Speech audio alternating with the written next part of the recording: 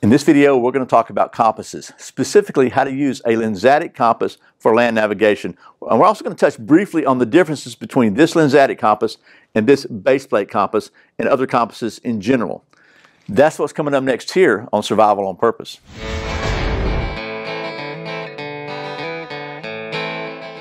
Welcome back to Survival on Purpose, your home for information and gear reviews related to camping, survival, and general preparedness for regular folks. My name is Brian. Thanks for joining me. So as I said, uh, we're going to talk about compasses. You may or may not know that I'm a Scoutmaster, have been involved with the Boy Scouts for multiple decades. And one of the Boy Scout skills I think which really every adult should know is how to use a compass. And if you weren't in the military, like I wasn't, uh, this style compass, the base plate compass, is probably something you're more familiar with than this style compass, the lensatic compass.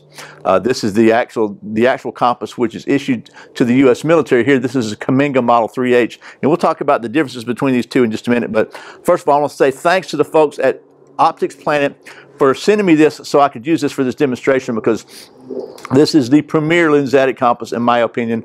Uh, USA made from the folks at Cammenga. again, this is the uh, same compass that is issued to our men and women in uniform uh, it features tritium, so it glows at night. It doesn't need any external light. Pretty cool stuff. We make we'll talk about that as we as we go along. But this is a compass I've been using for a long time. This is a Suunto MC2, um, and it is a very very good compass. So both these are very good compasses. But uh, I think there's a reason that the military uses this style. And if you're, if in my opinion, um, this is maybe a little easier to, to, to, learn to use, but this one is absolutely, probably has the potential, I think, to be a little more accurate. So um, I'm rambling already. So let me just take you down to the old picnic table for a minute. Talk really briefly about uh, the different st styles of compass you may be familiar with. We'll touch on basic use of a compass, and I'll show you about the details of, of how to specifically use the lensatic compass. So let's get to doing some compass stuff.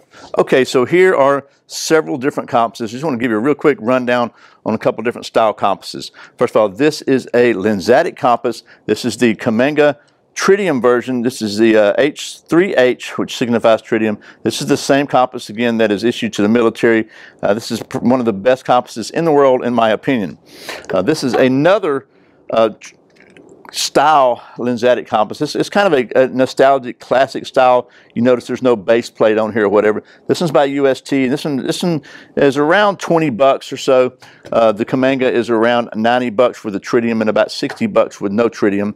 This is a Suunto MC2 uh, navigational compass, sometimes called a base plate compass or a uh, orienteering compass. It's a really, really nice compass. Very nice there. This one's around the $50 range. This is just my old Boy Scout um, kind of a disc compass, and you know it's, it's liquid filled. It works pretty good, um, but it's definitely not in, in the class of these of these. And this one's probably not either, to be honest with you. And then finally, here's this, my Suunto Clipper compass. It's a band compass. Um, very just a, a, handy way to have general direction. And then if you really want to go all oh, high tech, you can go with something like this. This is the uh, Casio electronic compass. This is a Casio ProTrek watch, and one of the functions is a compass, and that's pretty cool there too. But in my opinion, if you really want to do some serious land navigation, only two of these here are, are, are, are candidates for that. The uh, lensatic compass and the uh, base plate compass or orienteering style compass. Both these are very, very functional, useful compasses for land navigation, for finding your way. And they, they each have their slight differences in pros and cons. So what I thought we'd do is I'm going to pull out a map here, kind of show you the basics of, you know, um, how you use a compass with a map, and then we'll talk about transferring that to a uh, an actual field, shoot, shooting an azimuth or a bearing in the field, and how to use that um, specifically with the um, lensatic compass. Okay, so before we talk about how to use this compass to find your way, so we need to have a basic framework of what you're going to be trying to do. So um, I've got a map here. This is not a map of where we're at, but this is a map of, of the Blood Mountain area up in North Georgia. And if you look closely at the map, let me zoom you in here for a minute. You'll see, first of all, there's a little legend on the map here.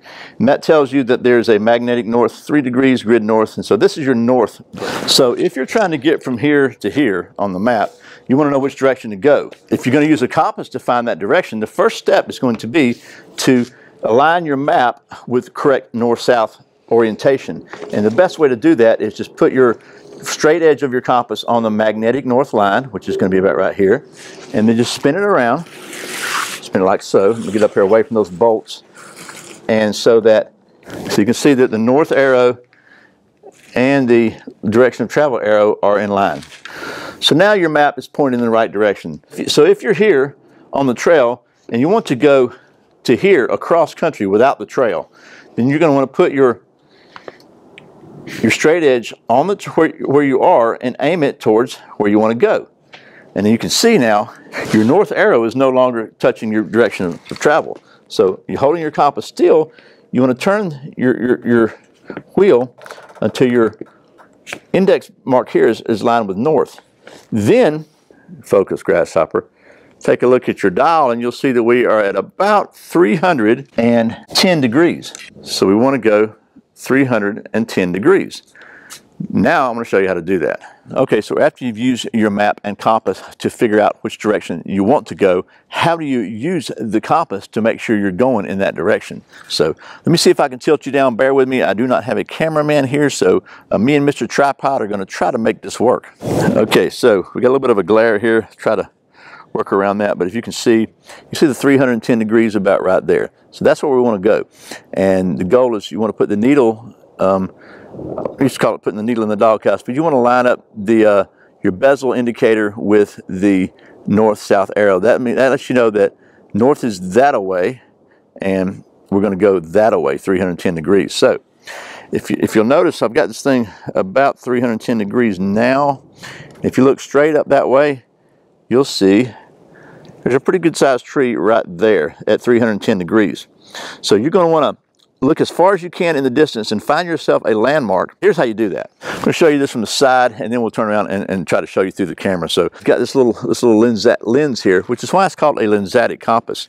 You notice there's a notch on top of the lens here. There's a, uh, a notch, a sighting thing here. So it's kind of like a, a gun sight really. And they say to put your thumb in here, you can do that, just kind of hold it. But you want to bend this down where you're looking through the lens and you can see it's magnified, and you'll see that in a minute. You can see the numbers here. You want to get to, to where everything's lined up, and then you want to tilt this down, and you're going to kind of look through the sight and that's going to through this notch to the sight pin and, and that's going to what you're going to line on your target. You want to pick a target out at the the bearing you're looking at the, the azimuth the, the degrees of direction that you want to go however you want to say that pick a target out as far as you can so you got something you can walk to you don't have to keep looking at your compass all the time. You pick that target you know okay i can walk towards that target and you can kind of ignore your compass until you get there then you just repeat the process and keep going. So so basically you want to look down like this and find your, get, you're going to turn yourself around so that your north arrow is lined up with your index on the bezel. You're going to look through here. You're going to look down till, you got exactly where it needs to be. You can see it through this little magnifier then. And then just tilt down a little bit. Look through your sight window like you're aiming a gun and pick your target. And they say meld it, weld it on your cheek. That's just so you're, you're very solid.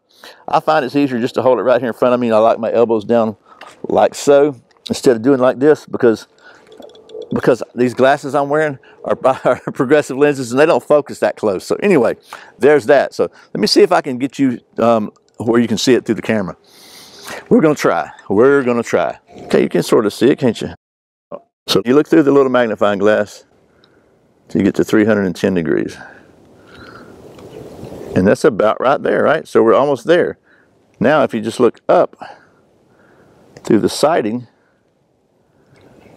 and just keep looking up. I gotta get up here and see it. it should be, you see the tree right out there. We'll call it that one. We'll call that 300 degrees because I can't do it. It's the best I can do with my with my video camera. So there's the tree. Once you've got that, and you can even see there's a notch up here, you can kind of use that to kind of line everything up. Once you've got that, you just walk to that tree, and then you repeat the process. So again, you're gonna look through here. You're gonna, you're gonna line this up with the 310. And then you're going to look through the notch and through your sighting wire here, and there you go. And then, of course, what's good about this, if you don't have a landmark, and I'm doing it sideways, so you really can't see that. Once you got your set where your north arrow is lined up with your index mark button, if you make sure that north arrow stays lined up with the index mark from the bezel, um, then as long as you keep that lined up, you'll be walking in the right direction. So that wasn't that complicated. Um, I think the problem some people have is this is a very, very well constructed, made in the USA, very good compass. The uh, the lens on it is very good. It's very clear. Everything's very clear. Some lower priced lens Lensatic compasses I've seen, they don't focus very well. They just they're, they're not as precise as this one. So um, again, this is this is the this is in my opinion the absolute top of the line Lensatic compass in the world. So um, there is that, right? Okay, that was hopefully not a too disjointed look at the basics of how to use a Lensatic compass. In this case, the Cammenga 3H Tritium Lensatic compass, which is the same one that the U.S. military uses. Um, there's a lot of mystery. A lot of people think this is very complicated. It's really, really the same as using uh, pretty much a, a, base plate compass. The, the main difference again is instead of looking at a mirror, you're actually sighting down through the through the magnifying glass, and it just really does give you a the, the, the very fine notch here combined with the sighting wire gives you a very very precise aiming point. So if you're traveling long distances or maybe there's not a lot of landmarks you can you can get close to, you can find a landmark way in the distance and you can uh, really zero in on it with this thing. So. Um, hopefully this has been helpful. I'm trying to do some more some more uh, videos about compass and map basics um, coming up soon in the future. So if there's something you'd like to see specifically covered, leave it in the comments below. Once again, thanks to the folks at Optics Planet for sending me this so I could use this in kind of this demonstration video. And as always, thank you for watching Survival on Purpose. I put out a couple of new videos every week on Friday and Saturday, sometimes random videos throughout the week. If you don't want to miss a single one, I invite you to subscribe to my weekly email newsletter at survivalonpurpose.com forward slash subscribe. Just in case YouTube doesn't notify you I will.